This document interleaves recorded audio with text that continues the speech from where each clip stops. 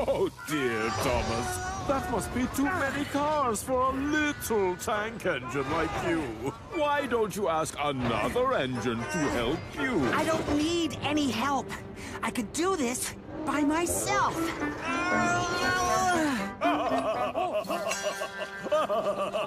Laugh if you like, Gordon. You always think I'm too small to do anything. But I'm gonna go far. I'm. I'm. I'm gonna see the world one day. Just you wait and see.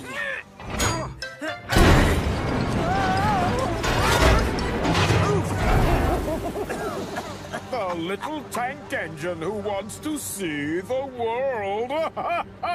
Take a look around you, Thomas. This is your world.